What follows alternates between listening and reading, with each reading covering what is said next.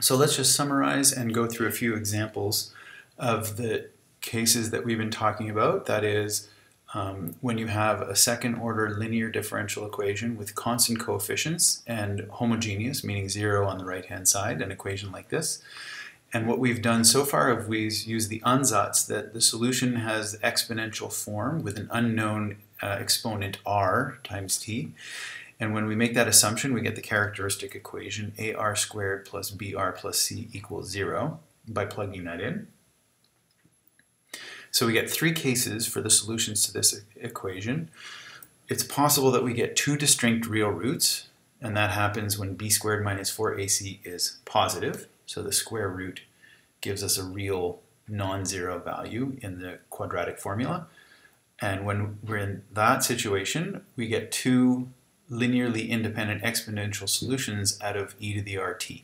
So we have a general solution of the form c1 e to the r1t plus c2 e to the r2t.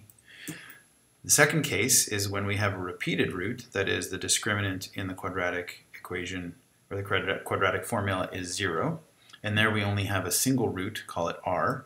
In that case, we get one solution from our ansatz, e to the rt, and we used reduction of order to find a second one, t e to the rt, and the general form, or the general solution will have the form as given here, which is c1 times e to the rt plus c2 times t e to the rt. And the third case is when the discriminant is negative, and that gives us complex roots, and I'll call those two complex roots a or alpha plus i beta. And in that case, we take the real part alpha and we put it in the exponent of the uh, exponential e to the alpha t.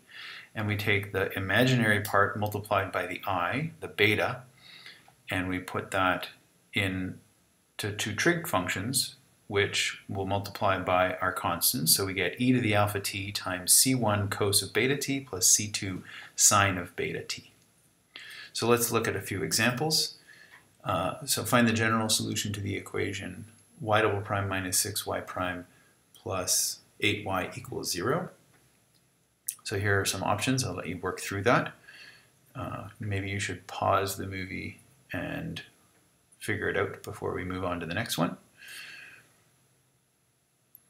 Here's a slightly different example. I've only changed one of the coefficients by a single number, a single integer, so it's now a 9y. And uh, we have a different solution in this case, and I'll let you again work through and figure out which one is the correct one. And I encourage you to pause and do that now. And finally, with another slight change, we get yet a different problem, and here are the options for you to choose from, and I'll let you work through that.